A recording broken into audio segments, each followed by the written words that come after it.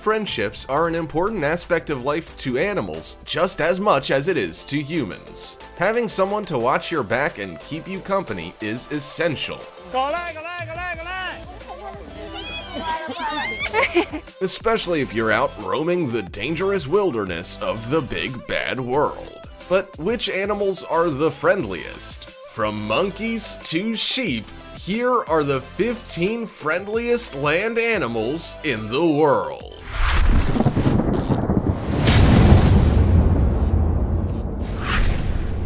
Number 15 Monkeys. To us humans, social relationships between friends are an incredibly important part of life. For monkeys, it is no different, and so they like to keep up a friendly front. While we might argue with close friends or family, there's usually a desire to patch things over after the dust settles whether that be offering the other person a drink or simply apologizing. Monkeys also get into arguments, and they can be just as ordinary or mundane as humans arguing over what channel to put on the TV. Whilst monkeys don't watch TV in the wild, they sometimes do get into scuffles over who gets to lie in the shaded area or whose turn it is to be groomed. But how do they manage this and be the friendly creatures they are? They have various ways to resolve a situation, such as meditation and the bizarre act of kissing their friend on the mouth. Ah. They can even resort to grooming one another in a bid to relax the environment and settle tensions. Sorta like giving someone a back rub, I guess. If these friendships aren't maintained, then like humans, monkeys will just get stressed out and be left with elevated levels of anxiety. Before we go on, like this video, smash the subscribe button and click the notification bell right now, or this centipede will crawl on your face when you're sleeping. Number 14. Sheep. You've probably heard the phrase, don't be a sheep before, and that's a testament to their group mentality. See, sheep are gregarious, which means they band together and rarely leave each other's side. Whilst you could interpret it as them all being the best of friends, it's actually mainly for protection. The thought is, if they stay together, it's harder for them to be picked off by a predator.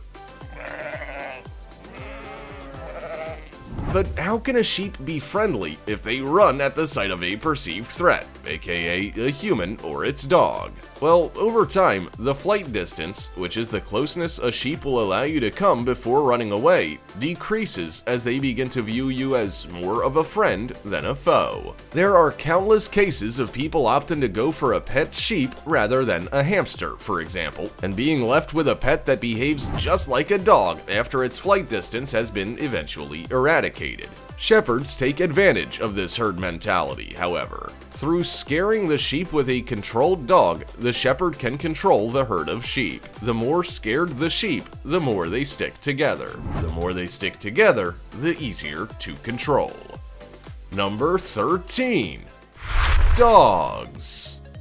Man's best friend. Of course, we weren't gonna have a list of the friendliest animals without the dog making an appearance. Dogs and humans have been the best of pals for between 10,000 and 30,000 years. The relationship is well known. But what makes a dog so friendly? Well, for starters, the relationship is symbiotic. The dog lessens the owner's worries, whereas the owner makes the dog feel safer. Everyone is happy. The relationship goes one step further, with the owner actually being revealed in scientific studies to influence multiple characteristics of their pet's traits. In areas such as calmness, trainability, sociability, and boldness. Apart from wagging their tail and being general bundles of joy, a dog and a human also bond through simply gazing into each other's eyes. So much so that a study at Azabu University in Sagamihara, Japan found that this staring causes the creation of the love hormone oxytocin, humans and dogs, the perfect friendship between two social creatures that has lasted through the ages. With the friendship stemming all the way back to people migrating in East Asia to now going for walkies in the park as the canine friend sprints after a thrown ball. Number 12. Cats. While you probably expected dogs to be on this list, I'm sure you didn't expect to see cats here, too. Well, contrary to popular belief, cats are a lot more friendly than the wider public gives them credit for. A study in 2017 found that most cats preferred interacting with a human rather than playing around with their toy. Which might not seem like much, but I'm sure a lot of people nowadays would rather play on their phones or games console than have a conversation with someone.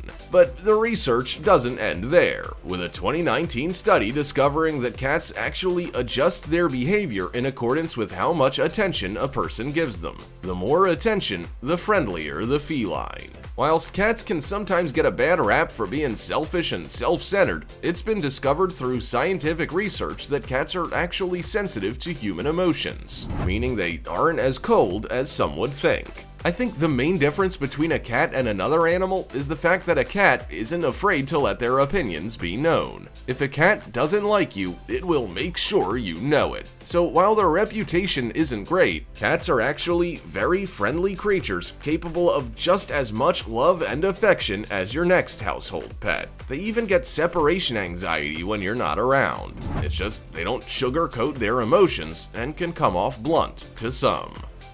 Number 11.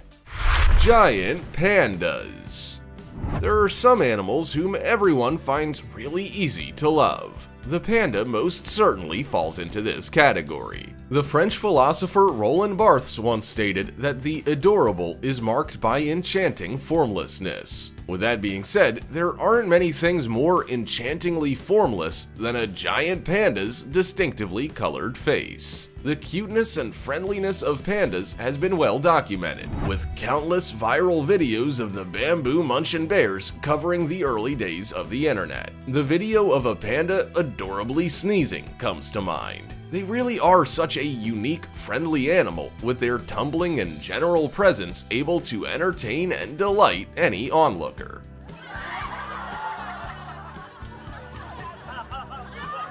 With panda cubs learning how to climb from just 5 months old, one animal's tumble is another human's aw. These friendly creatures spend most of their time eating, with 10 to 16 hours of the day allocated to the munching of bamboo.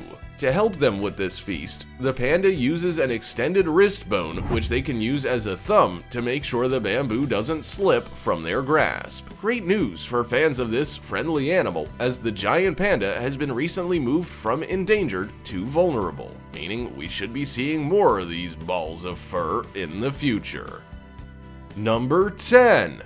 Capybara there are some popular people you come across in life, whether at school or work, who just seem to get on with everyone. No matter the group, they like everyone, and everyone likes them. Well, the animal kingdom is known to have these social chameleons too. In steps the capybara, which, on top of being extremely popular with all shapes and sizes of animal, is also the largest rodent in the world growing to around 4 feet in length and weighing up to around 145 pounds, this is one animal you would love to have around at your dinner party. These popular furry creatures have been known to hang out with all walks of life without a care in the world. From kittens and monkeys to crocodiles and deer, the capybara must have a lengthy contacts list on its smartphone and an extremely busy social calendar.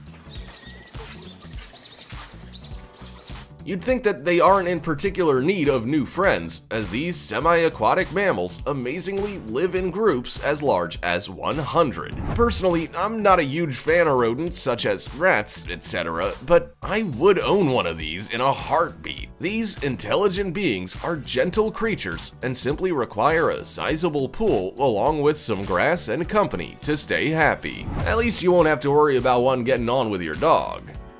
Number 9. Tigers.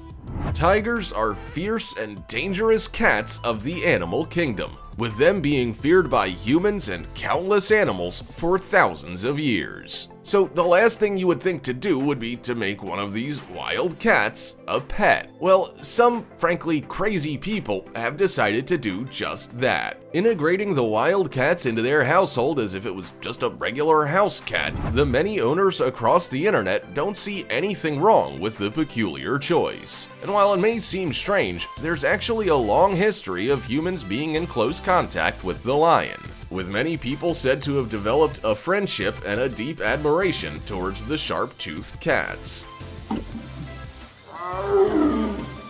This devotion for the tiger can be particularly seen in Chinese tradition, where the tiger is held in high regard as a symbol of strength. If you're ever in an Asian building and you notice a painting of a tiger by the entrance, then that's usually there to allegedly protect the place from evil spirits. The tiger is found in all corners of Asian artistic expression, although I think I'll stick to owning a regular tabby cat, thank you. They're slightly easier to handle, and I'd imagine cheaper to feed. Number 8. Cows the meat eaters among us will probably just associate a cow with being a steak or a burger. But what about a friend? Cows are very intelligent animals who are able to have layered social relationships as complicated as humans. Similar to how a human might play a team sport, cows create bonds through play with other cattle and animals. Amazingly, cows also mourn deaths in the herd,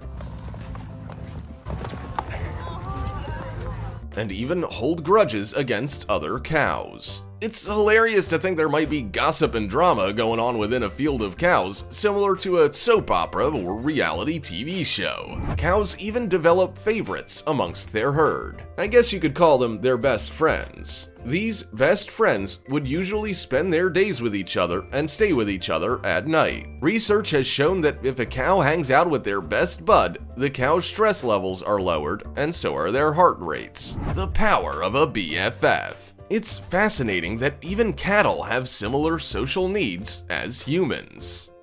Number 7. Horses Horses are very friendly and social animals. This tendency stretches into the animal's habits when in the wild, as well as in the stables. Traveling in packs, horses thrive in groups, as if they are left by themselves, they can suffer from loneliness just as humans do. A horse's family structure in the wild is usually a close-knit affair, with the dominant mare usually leading the group. This mare might not be the strongest of the bunch, but their experience and wisdom is key to the group's survival. If a horse was not to socialize, there would be significant psychological effects on the hooved friend's health. You have fun today? Oh, I forgot to put Alright, my helmet Charles, on. ready? Young horses need socializing as much as anyone, as if they don't have a role model, they will fail to learn key manners and skills to survive and form friendships. If you've ever wondered why a horse likes being patted so much, it's because this act of grooming can satisfy some of the horse's essential need for companionship. If you want to check the happiness of a horse, as well as just offering them a spare carrot, keep track of the horse's snorts. The more a horse snorts, the more it is happy and at peace. These majestic and elegant creatures have been alongside humans forever. As well as being great companions, in the time before the automobile, they were who humans mainly turned to for transport and labor. Number 6. Cheetahs Cheetahs are the fastest land animal on the planet, able to reach speeds of 70 miles per hour in just 3 seconds. Uh, but they're actually big old, albeit fast, softies. While the first impression would be that these are some fearsome big cats of the animal kingdom, they're actually pretty small and have been known to be friendly towards humans. With some eccentric folk among us even deciding to keep them as a pet. The cheetah is not the most muscular of the big cats, Good, girl. You're a good girl. I'm gonna groom my hair. With them also being quite small in comparison to the other intimidatingly clawed wildlife. Cheetahs are only about the size of a golden retriever, but I wouldn't recommend just running up to one and trying to give it a hug unless you want a bite taken out of you. If they're well fed, they will actually flee from humans in the wild, due to our usually dominating size making them feel nervous. They're usually very relaxed and inquisitive creatures, especially those held on a safari. Number 5. Koalas Everyone loves the small, chilled out symbol of Australia. I'm talking about the koala, of course. These remarkably little creatures are the epitome of sweet, with their seemingly laid-back approach to life gaining them fans the world over. There's a common misconception that the reason for these furry fellas' relaxed demeanor is down to the intoxicating eucalyptus tree they munch on. But this is simply not true, although the idea that the reason they are slow moving being down to being drunk or hungover is hilarious to say the least. Koalas are very social and friendly creatures, using different means to gain new friends or sexual mates. From literally just bellowing loudly to peeing on a tree, the koala has really tried everything. If you ever spot a koala hanging around the base of a tree, it's not because they're having trouble escalating it, rather, the koala is actually sniffing. See, when a koala leaves or ascends a tree, the koala dribbles a stream of urine down the base of the tree in order to offer up their personal information such as sex and dominance to those passing by. Think of it as equivalent to a human's Tinder bio. Whilst they love other friendly animals' company, they are not a big fan of humans. Wild koalas are highly sensitive to human handling, which can even create almost deadly levels of stress through the hormone cortisol. Besides, with a crazily high chlamydia rate in wild koalas, it's probably just better to appreciate the sweet animal with your eyes. I got it from the koala, I swear. Number 4. Bears. When you think of a bear, your mind probably drifts back to thoughts of a tyrannical beast rampaging and attacking everything in sight. And if you're a fan of movies, then you'll probably have flashbacks to the scene where Leonardo DiCaprio is savagely attacked in the Revenant movie. The truth is a lot less dramatic and a lot more measured. For starters, bears are incredibly intelligent creatures, with their sociability being comparable to apes. This kinship is a great tool for the bear, as they often share food with their friends, and the prospect of having an extra pair of eyes watching your back in the wild is truly invaluable and could be the difference between life or death. Whilst Hollywood may have portrayed an image of a reckless maniac, bears are a lot more calculated in reality. And in truth, bears usually treat humans just as they would a fellow bear. The difference being a small pat on the back for a bear is a backbreaker and a trip to the hospital for a human. Whilst a bear might bite at you in an act of friendliness, it might not seem so friendly when you see its powerful jaw coming towards your soft flesh. I appreciate the intent, but why can't they just wave at us? Number 3. Squirrels. You probably mainly see squirrels running across your clothesline and eating from your hanging bird feeder, but their acrobatics are only the tip of the iceberg when it comes to their being. Considered humans' closest emotional connection to the animal world, they manage to bring an element of the wild even to the most urban of environments. These little bushy-tailed fellas are almost as smart as they are playful. Spy Squirrel is a pushover.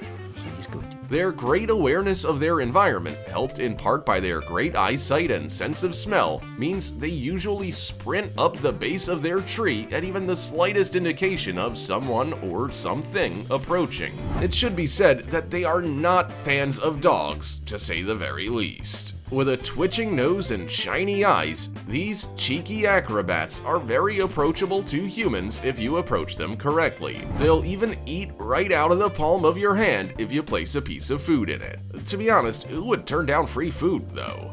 Number 2. Donkeys. In terms of friendly animals, how many of you had donkeys on your list? Not many, I bet. Well, you should, because whilst they aren't the most conventional of choices, they are extremely social animals. Donkeys, for example, will only work with a person if it feels safe and secure hanging out with the human. They are very thoughtful beings, with donkeys pondering over instructions and new commands like they're a Greek philosopher mulling over the deepest of moral questions. This pondering comes with the downside of not being able to be rushed or being known to react quickly on their feet. They are very friendly to humans, with them wearing their heart on their sleeve. Like most animals, they love a good pat on the head, or even the simple act of standing nearby someone. Donkeys have also been known to whip up intense friendships with other animals, ranging from dogs to horses. Fellow donkeys are extremely important and cherished by each other, with the death of a companion causing the donkey to go into a state of mourning. This grief can be so intense that the donkey can even become severely ill from the stress. Poor things. Number 1. Camels you would be excused if the first thought that flies through your head isn't, wow, what a beautiful animal, when you lay eyes on a camel. But you might be surprised that these desert dwellers' name actually comes from the Arabic word for beautiful. I would want to get on the good side of a camel though, as their friendship could prove extremely useful. Able to carry up to 600 pounds and run up to 25 miles an hour, these ships of the desert are certainly well adapted for endurance. They are also very social animals, with camels being known to approach and kiss humans. While the thought of getting kissed by a camel might not sound like the greatest of things, it could be a whole lot worse camels have been known to spit at things which they feel threatened by. Although it's actually far worse than spit. Along with a deadly aim, the camel brings up the contents of its stomach and spits it out of their mouth with a hefty splash of saliva for good measure. Despite these bad manners, the companionship between camels and humans has been documented for centuries with long trips across the thirst-quenching terrains allowing enough time to get to know each other and multiple DMCs to occur. Who would have known having a buddy would be so important to all animals of different shapes and sizes? Who is the friendliest animal in your opinion? Let us know in the comments section below. Also, check out our other cool stuff showing up on screen right now. See you next time!